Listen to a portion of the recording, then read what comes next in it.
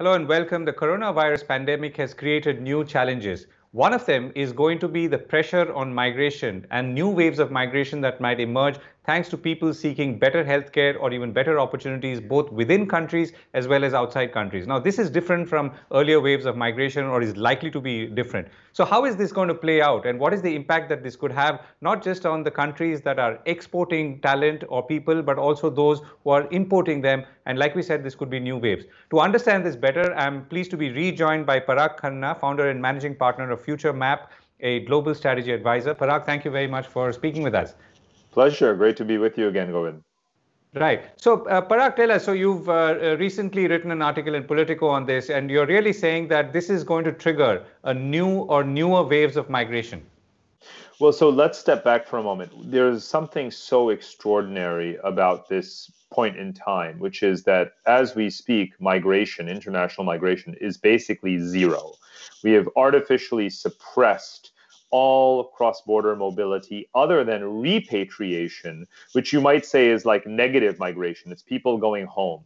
So we've gone from December 2019, where we had a record, a historical record of 275 million migrants. People living outside their country of origin. And now we're reducing that number as people go home. As you well know, for example, there's a large effort to repatriate uh, many hundreds of thousands of Indian uh, construction workers and other guest workers in the Gulf countries, for example. So now we have to look forward. Now imagine it's six months from now, one year from now, and we have a vaccine. What happens then? When migration is allowed again, country by country, pair of countries at a time, health bubbles, travel bubbles, people will have just spent up to one year potentially in lockdown in a red zone, in a country that has bad health care, where they've lost their jobs, where they're no longer earning money. And on all of the conditions, all of the pent up desire to leave, to move, will be exercised. And the question is, where will people go? Where will they be allowed to go? Where will they be let in? Where do they want to go? We've all been watching the news globally. We're seeing which countries have good healthcare systems, good medical systems, or providing uh, medical equipment and testing and so forth for their people, and which countries are not. And surely you will see people be pushing to leave the red zones and move to the green zones. And that is the question that we're asking. And this is an experiment, Govind. The world is going to uh, is going to this experiment is going to play out on us as humanity. It's going to unfold over the next few years, and it's about to begin. And in, and what's the sense that you're getting? Because clearly, when it comes to health systems, let's say uh, a lot of people in Asia go to America and America, I mean, obviously is the land of opportunity, but has not been able to have a robust health system, at least to respond to the level of crisis that it's faced. Uh, maybe in Europe, things are looking a little better, but of course, Europe is not easy to migrate to. And though people traditionally have not to, to try too hard, because obviously Europe uh, is more uh, is more insular in a manner of speaking, particularly when it comes to language and so on. Right. That's a great question. Well, so first of all, no one moves to America for free medical care, obviously, yeah. uh, unless your employer is giving you a very generous package. You do move to Canada, however, for free medical care if you have legal residency. And that's why Americans have been moving to Canada since before the pandemic and probably will try to after the pandemic. That is also true for many people from developing countries, from poorer countries. Uh, they see Canada as a place where your citizenship journey begins the minute that you arrive. They're not threatening to revoke that the way is happening in the United States. Europe, of course, again, is providing not only it provides even a stipend uh, for um, uh, for asylum seekers and other migrants who arrive on its shores, even if they come illegally once they're registered, they're given certain benefits that are quite generous. Uh, and in fact, the country migrants look very carefully and they see if Germany offers 100 euro more a month in Spain, they're going to walk to Germany if they have to, right? Now, of course, Europe has been quite restrictive, but what we have seen is that for talent, for people like Indians who are trained in computer science or mathematics or other very relevant disciplines, they are allocating a growing number of these so-called blue cards, right? The equivalent of the American uh, green card. And that's becoming more and more popular. It's only tens of thousands rather than hundreds of thousands. But that number is growing because Europe has such extreme labor shortages. So there are opportunities all over the world in different countries. Now, you mentioned healthcare. You may have heard that Thailand has just launched its own executive immigration program, which includes free annual medical screenings. And as we know, Thailand has been developing its medical tourism industry for years now, and so it has quite an advantage. And there's a, apparently a very substantial uptake for that program. And what are the countries from which people are applying to um, to be granted this executive immigration scheme in Thailand, it's actually America and Australia are the top two at the moment. So there will be a competition for those countries that want to, to treat migrants as investors. There's a competition to retain and attract them. Right. So countries like um, you know Thailand are popping up that are becoming popular. Canada, is obviously getting positive attention. Those countries that have handled the crisis well, that have good medical systems, and that have liberal immigration policies are clearly the places where people want to go. Right, and, and you're saying that a country like Thailand is seeing competition from people in America and Australia to go there this is the remarkable thing, of course, you know, uh, and this is, as you know, something that I wrote about quite extensively in my, my Asia book. I said that, you know, migration has been for 150 years an east to west and south to north story. What's happening now is that you find people who are moving back, quote unquote, to places that have been thought of as developing because they have modernized their infrastructure, focused on the fundamentals, and are luring back uh, talent or attracting new talent. Now you'll find many the growing the number of expatriates from Europe and, the, and North America who live in Asia is growing and growing and growing uh, because the quality of life here is very high, the cost of living is low, unemployment is low, public safety is high, schools are good, all of these kinds of benefits of living in a city like a Singapore uh, or, uh, or, or other cities in the region, as far as New Zealand, Australia, even again, people who are moving to Bali, Indonesia, Phuket in Thailand. These expat hubs are popping up all over Asia. So migration is not just a one way street anymore. There isn't one clear axis of desirability.